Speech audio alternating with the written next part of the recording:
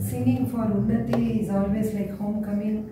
It's more special this year because it's been a four-year uh, break uh, because of COVID and other reasons.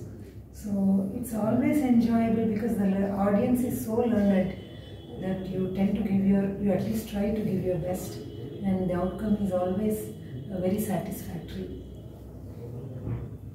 It's always a pleasure coming and uh, performing for Unnati. And uh, apart from the music, they are doing so much of social service. And only this morning, Mr. Uh, Ramesh Swami was saying that they are attempting to uh, Reach reach one lakh uh, people. people. So providing them job opportunities across so many states.